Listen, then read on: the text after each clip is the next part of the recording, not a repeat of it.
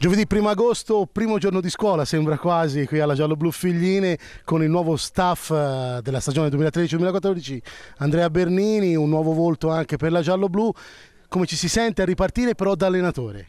Ma sicuramente è una sensazione nuova, però sono contento arrivato questo giorno perché non vedevo l'ora di iniziare. Tantissimo entusiasmo, tanta voglia di far bene trasmettere questa positività a questi ragazzi per poter riuscire a fare diciamo, un buon lavoro e presentarsi al meglio all'inizio del campionato. Cambiato qualche cosa nella veste allenatore e giocatore perché insomma tu di ritiri ne hai fatti tanti, però sei arrivato per primo, non so se arrivavi per primo anche quando eri giocatore, sei arrivato per primo, ti devi preoccupare dei palloni, che ci sia tutto a posto, è cambiata la storia. Sì, sicuramente sì, sono tutte nuove esperienze, però farò presto a imparare.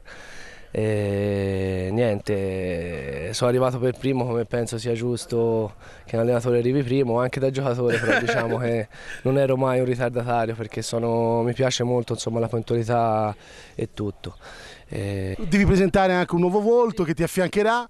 Questo è un mio grandissimo collaboratore, Vincenzo Di Santo, preparatore dei portieri, e quindi ci, ci, daremo, ci, darà una grossa mano per la preparazione di questi ragazzi, ha a disposizione due giovani di valore e quindi sicuramente con la sua esperienza, la sua voglia riuscirà a farli raggiungere degli ottimi risultati. Intanto benvenuto a Figline, un'esperienza eh, nuova insieme ad Andrea, Andrea ha la sua prima esperienza allenatore, però insomma c'è tanto entusiasmo. Sì, tantissimo, una squadra giovane, secondo me attrezzata anche bene per poter far bene. L'importante è che il mister mantenga questo entusiasmo tutto l'anno perché per loro è importantissimo. Poi noi, tutto lo staff, eh, cercheremo di dare il massimo per fargli a questi ragazzi raggiungere l'obiettivo che poi si vedrà mano a mano durante il campionato. Io sono contentissimo che lui mi ha voluto qui società importante, una bella piazza, grande stadio. È una scommessa anche per me perché ho due ragazzi giovanissimi, un 94 che avevo l'anno scorso a Rignano, Poponcini e Carlo Alberto Ortolani che ho allenato quando faceva gli professionisti a San Giovanni e sono contento veramente. Non vedevamo l'ora, ci siamo visti anche ieri sera perché non si vede l'ora proprio di cominciare. E ora siamo qui.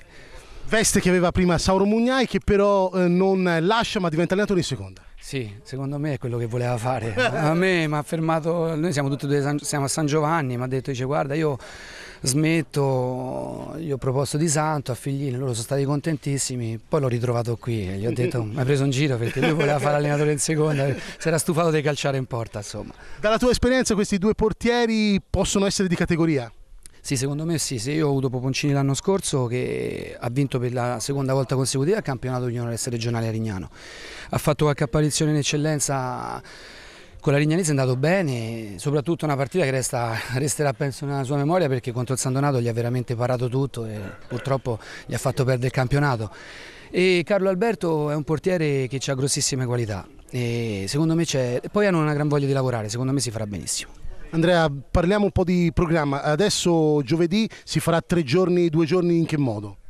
Oggi pomeriggio, domani pomeriggio doppio, andremo diciamo fino al 13 d'agosto, ci alleneremo sempre, tranne una mezza giornata libera, penso il 7 mattina dopo la prima amichevole e lavoreremo, avremo da, da fare tantissime cose. Una curiosità, una, una, preparazione che è sulla falsariga di quale altra preparazione che tu hai avuto come giocatore?